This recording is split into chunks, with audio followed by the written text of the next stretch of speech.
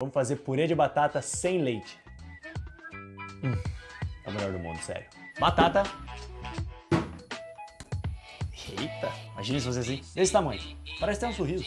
Vai pra panela, água, sal. Uma mexidinha. Importante, cozinha em fogo baixo. Fogo muito alto faz a batata absorver água e deixa ela muito molenga. Se não, hein? Desse jeito aqui. Faz o teste da faca, tem que entrar bem macio, tem que esmagar de boa. Guarda um pouco da água no cozimento, esse é o motivo que não precisa de leite. A batata e passa ela pela peneira. Desse jeito aqui, ó.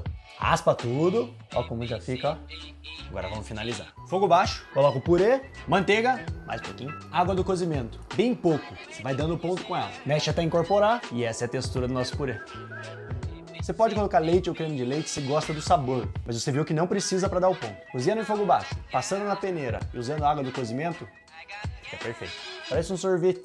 É o melhor purê que você vai comer na tua vida. Você vai amar isso daqui.